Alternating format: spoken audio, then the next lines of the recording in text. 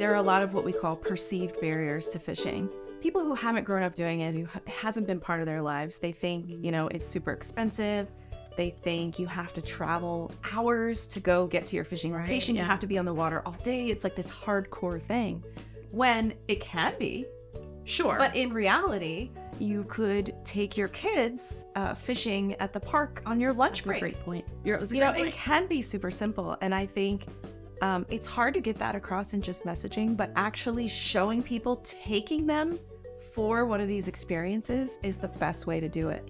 You know, this campaign is about equipping the industry to leverage their avid customers. And let's face it, a lot of the industry are avids themselves Sure, sure. to take newcomers out on the water and show them just how fun it can be and break down some of those barriers.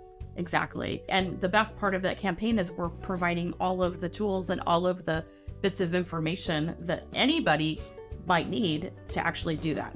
And making those experiences more successful and positive is going to reinforce them returning to the water. Exactly.